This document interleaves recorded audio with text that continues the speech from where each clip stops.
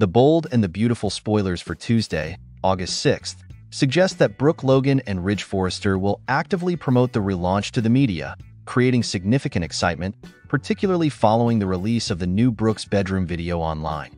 As Brooke and Ridge's professional collaboration flourishes, their romantic relationship will also benefit, blending business with pleasure. Meanwhile, a mysterious woman has been observed watching the couple closely, though her identity and intentions have yet to be disclosed. Back in Los Angeles, Steffy Forrester and Hope Logan will encounter increasing tension. As they wait for updates on the relaunch figures, their debate will intensify over Brooke's ability to secure a win for Forrester Creations, with additional disputes arising around the hope for the future line.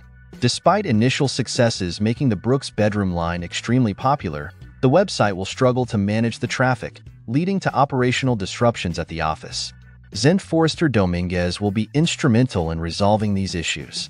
Steffy, recognizing Brooke's widespread appeal, will be forced to acknowledge her success, although she will continue to provoke hope by highlighting her line's declining performance and proposed cutbacks. While Poppy Nozawa and Luna Nozawa do not appear in Tuesday's spoilers, their storyline may progress as they deal with the repercussions of finding Tom Starr's backpack.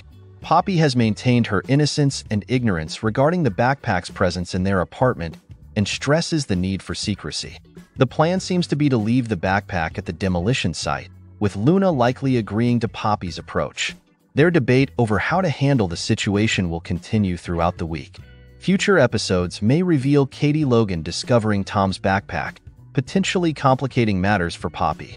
The bold and the beautiful spoilers hint at further developments in the mystery surrounding Tom and Hollis, promising more unexpected twists. Stay tuned for what unfolds next.